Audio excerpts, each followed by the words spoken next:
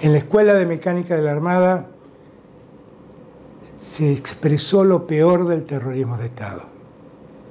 La Argentina en esos años sufrió la persecución de todos los que se oponían a la dictadura militar.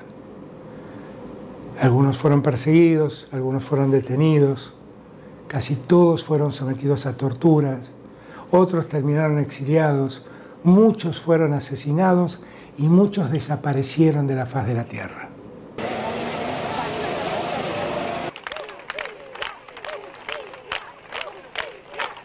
Un golpe de Estado, una dictadura militar atroz, 30.000 desaparecidos, muertos, presos políticos, niños que todavía no conseguimos recuperar.